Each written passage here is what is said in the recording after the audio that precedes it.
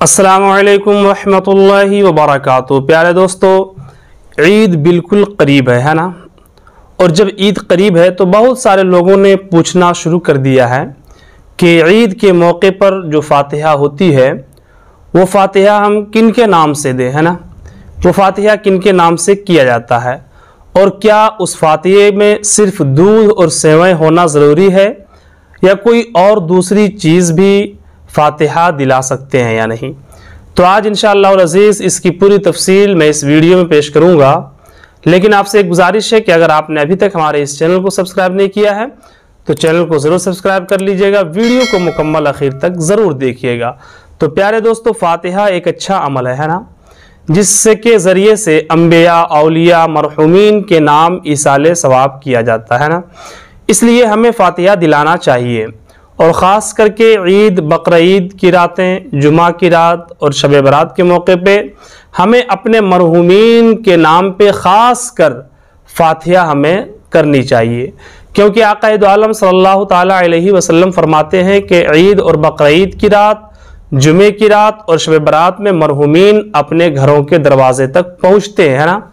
और घर के दरवाजे के पास जाकर के अपने घर वालों से रो रो करके वो मरहुमीन पुकार पुकार के कहते हैं कि है कोई जो हमारे नाम पे इसाले सवाब करे, है कोई जो हमारे नाम पे सदक़ा व खैरात करे। तो अगर आप अपने मरहुमीन के नाम से सदक़ा व खैरात कर देते हैं, है ना, या फातिहा दिला देते हैं तो फिर वो मरहुमीन खुश होकर के आपके दरवाजे से चले जाते हैं और आपके लिए दुआएँ दे करके चले जाते हैं। और अगर आप फातिहा नहीं कराते हैं तो फिर आपके मरहुमीन उसी रोते हुए हालत में वो लोग वापस चले जाते हैं। बहरहाल तो मैं ये कहना चाहता हूँ कि ईद हो या बकर हो, हर एक मौके पे हमें अपने मरहुमीन के नाम से फातिहा करना चाहिए। अब रही बात कि ईद के दिन किन के नाम से फातिहा की जाती है ना? ईद के दिन किन के नाम से फातिहा करना चाहिए? तो ये बात आवाम में बहुत मशहूर है ना? ये बात जो है आवाम में बहुत ज़्यादा मशहूर है कि ईद के दिन सिर्फ़ और सिर्फ़ आकाद आलम सल्लल्लाहु अलैहि वसल्लम के नाम से फातिहा करना चाहिए। ये बात आवाम में बहुत मशहूर है। हालाँकि ऐसा कुछ भी नहीं है, बल्कि आप ईद के दिन, है ना? ईद के दिन जहाँ पे आकाद आलम सल्लल्लाहु अलैहि वसल्लम के नाम से फातिहा करते हैं, वहीं पे आप अलिया कराम और दिगर अम्बिया कराम के नाम से भी फातिहा कर सकते हैं। और साथ ही साथ, है ना, अपने घर के मरहुमीन या कुल मोमिन कुल मोमिनात, तमाम मरहुमीन के नाम से आप इसाले सवाब कर सकते हैं। चाहे ईद का दिन हो या बकरीद का दिन हो, कोई हरज की बात नहीं है है ना?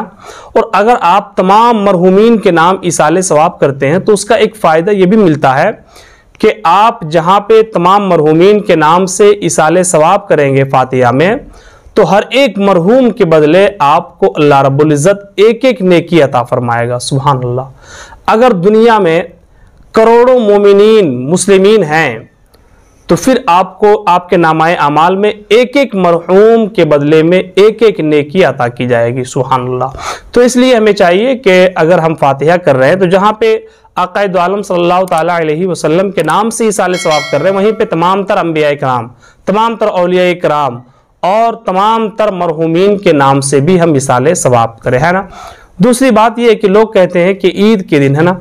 ईद के दिन सिर्फ़ और सिर्फ़ दूध और समय पर ही और लच्छे वगैरह पर ही फातिहा हो सकती है। दूसरी चीज़ पर फातिहा नहीं कर सकते हैं। तो मैं बता दूँ कि ऐसी, ऐसे, ऐसा कुछ भी नहीं है ना? यानी ऐसा नहीं है कि सिर्फ़ दूध और समय या लच्छे पर ही फातिहा हो सकती, बल्कि हर मीठी चीज़, है ना? कोई भी मीठी चीज़ हो, आप उस पर फातिहा दे सकते हैं।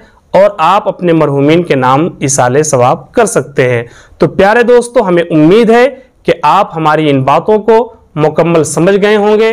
असलकम वरहमल वर्क